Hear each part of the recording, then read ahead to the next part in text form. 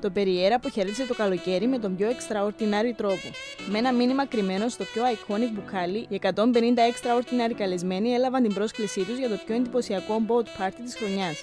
Με σημείο συνάντησης στο παλιό λιμάνι της Λεμεσού και λίγο μετά το ηλιοβασίλεμα, οι καλεσμένοι επιβιβάστηκαν στο καταμαράν του Περιέρ για μια τρίωρη διαδρομή κατά μήκος του παραλιακού μετόπου της πόλης.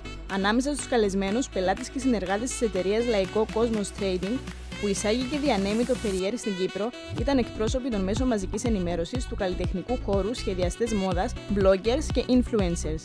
Ο κύριος Βασίλης Πετρίδης, διευθύνων σύμβουλος της Λαϊκό Cosmos Trading, ευχαρίστησε τους καλεσμένους για την παρουσία τους και τη συνεχή υποστήριξή τους για τα τελευταία 25 χρόνια κατά τα οποία το Περιέρ κατέχει την ηγετική θέση στην κατηγορία του στην Κυπριακή αγορά.